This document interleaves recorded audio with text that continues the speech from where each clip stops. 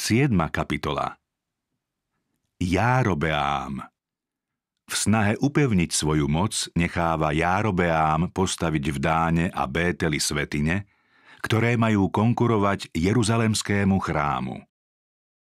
Desať kmeňov Izraela, ktoré sa vzbúrili proti Dávidovmu domu, dosadilo na trón Járobeáma – Tomuto bývalému Šalamúnovmu služobníkovi sa tým naskytla možnosť uskutočniť rozumné reformy ako v občianskej, tak aj v náboženskej oblasti.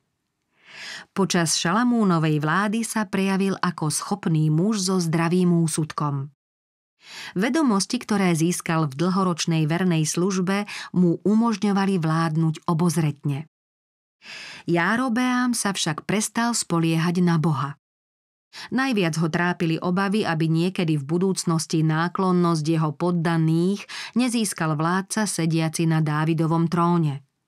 Nazdával sa, že keby príslušníci desiatich kmeňov často navštevovali bývalé hlavné mesto judskej ríše, kde sa dosiaľ konali chrámové bohoslužby ako začias Šalamúnovej vlády, mohli by sa mnohí prikloniť k vláde v Jeruzaleme a obnoviť jej vernosť.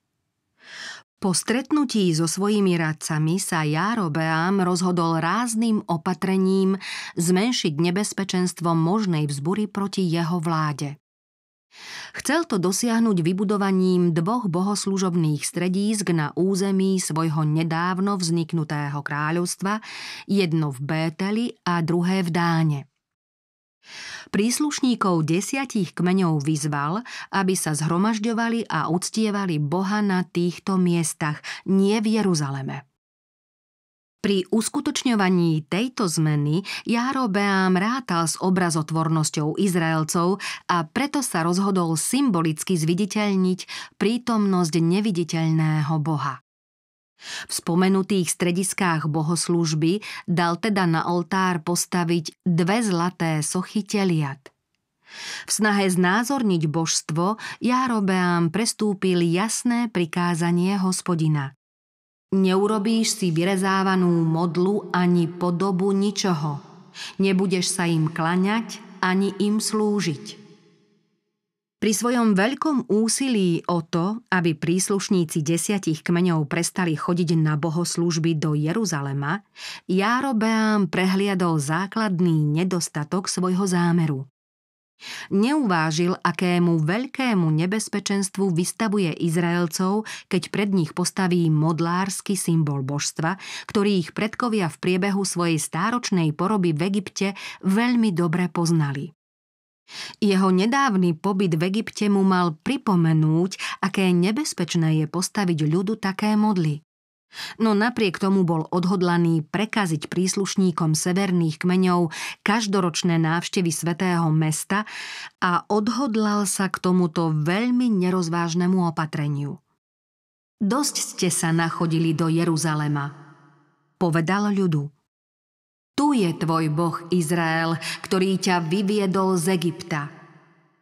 To bola výzva klaňať sa zlatým sochám a prijať pohanskú modloslužbu. V jeho kráľovstve žilo niekoľko lévícov. Kráľ sa ich snažil prehovoriť, aby v nedávno postavených svetostánkoch v Bételi a v Dáne slúžili ako kňazi. Keď obetoval zápalnú obeď pri vysviacke oltára na bohoslužbu v Bételi, objavil sa pred ním posol, boží muž z judského kráľovstva, s príkazom obviniť kráľa z toho, že opovážlivo zavádza nové spôsoby bohoslužby. Prorok zvolal proti oltáru. Oltár, oltár, takto vraví hospodin. Narodí sa syn domu Dávidovmu menom Joziáš a ten bude obetovať na tebe kňazov z výšin, ktorí kadievajú na tebe. Aj ľudské kosti bude páliť na tebe. Dal aj znamenie v ten deň. Toto bude znamením, že hovoril hospodin. Oltár sa roztrhne a vysype sa popol, ktorý je na ňom Oltár sa hneď roztrhol a popol z oltára sa rozsypal podľa znamenia, ktoré Boží muž dal na pokyn hospodinov. Zaslúžený trest Keď to Járobeám videl, ovládol ho taký vzdor voči Bohu, že chcel posla zadržať. V hneve vystrel ruku od oltára a povedal Chyťte ho.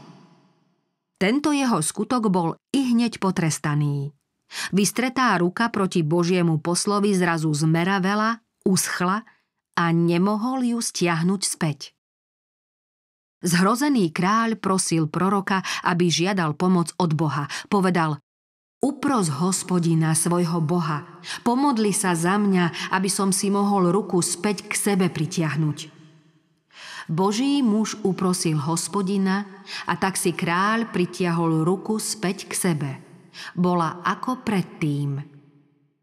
Járobeámová snaha slávnostne vysvetiť cudzí oltár a tým zneúctiť hospodinovú bohoslužbu v Jeruzalemskom chráme bola márna.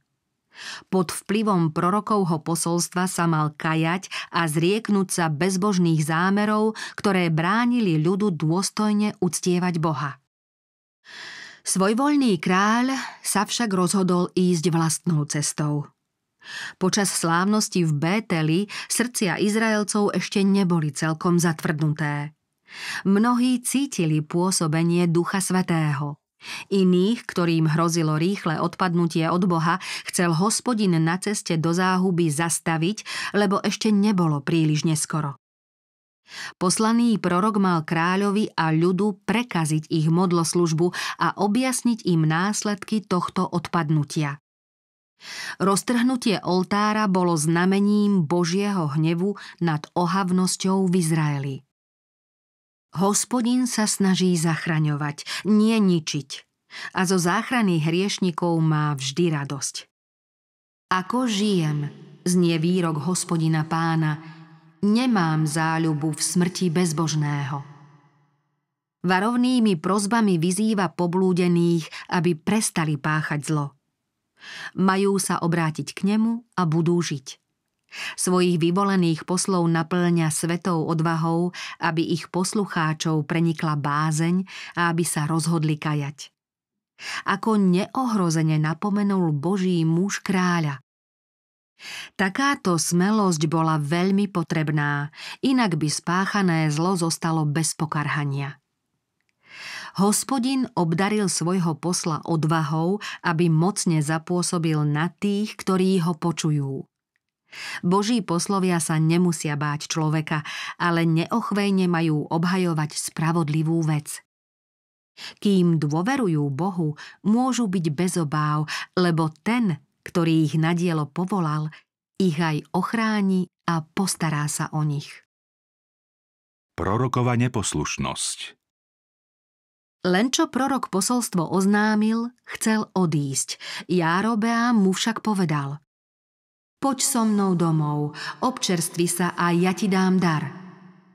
Prorok mu odvetil Nepôjdem s tebou, nebudem jesť chlieb a nenapijem sa vody na tomto mieste, lebo takýto príkaz som dostal v slove hospodinovom.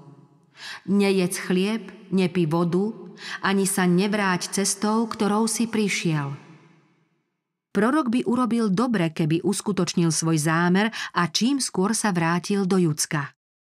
Ako tak kráčal domov inou cestou, dobehol ho starec, ktorý sa vydával za proroka a oklamal Božieho muža tvrdením Ja som tiež prorok ako ty a aniel ku mne prehovoril slovom hospodinovým Vráť ho k sebe do svojho domu, nech si zaje chleba a napije sa vody.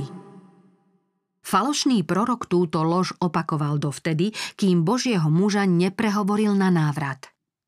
Pravý prorok bol za opovážlivosť konať proti Božiemu príkazu potrestaný. Keď obaja po návrate do Bételu sedeli spolu pri stole, falošný prorok dostal od všemohúceho vnúknutie a zvolal na Božieho muža, ktorý prišiel z Judska. Takto vraví hospodin – pretože si sa sprotivil hospodinovej reči a nezachoval si príkaz, ktorý ti dal tvoj Boh, nevojde tvoja mŕtvola do hrobu tvojich otcov. Toto proroctvo sa čoskoro splnilo. Potom, keď sa najedol a keď sa napil, osedlal osla. Keď šiel, stretol ho na ceste lev a usmrtil ho. Jeho mŕtvola bola pohodená na ceste a osol stál vedľa nej. Aj lev stál vedľa mŕtvoly. Práve šli okolo muži a zazreli mŕtvolu pohodenú na ceste. Šli teda a vyrozprávali to v meste, v ktorom býval starý prorok. Keď to počul prorok, ktorý ho bol vrátil z cesty, povedal Je to Boží muž, čo sa sprotivil hospodinovej reči. Potrestanie neverného posla bolo ďalším dôkazom spolahlivosti proroctva, ktoré zaznelo nad oltárom. Keby bol prorok, ktorý neposlúchol Božie slovo, zostal beztrestne nažive, kráľ to mohol využiť a ospravedlňovať vlastnú neposlušnosť. V roztrhnutom oltári, v meravej ruke a v strašnom potrestaní proroka, ktorý sa opovážil neposlúchnuť výslovný príkaz hospodina, mal Jarobeám poznať hnev zneváženého Boha. Tieto súdy mu mali byť varovným signálom, aby prestal páchať zlo. Jarobeám sa však nechystal kajať, ale znova určil výšinových kňazov z vrstiev ľudu – Komu sa chcelo, toho ustanovil, takže sa stal výšinovým kňazom.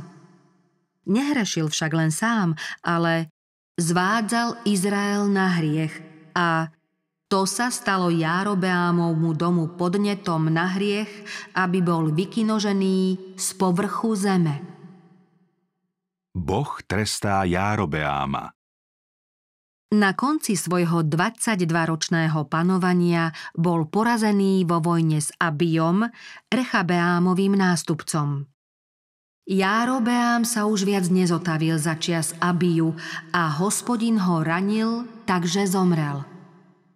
Odpadlíctvo, ktoré sa začalo počas Járobeámovho panovania, sa tak rozmohlo, že nakoniec rozvrátilo celé izraelské kráľovstvo. Starý prorok Achia zo Síla, ktorý pred mnohými rokmi predpovedal dosadenie Járobeáma na trón, vyhlásil ešte pred jeho smrťou. Hospodin zakláti Izraelom, ako sa kláti trstina vo vode.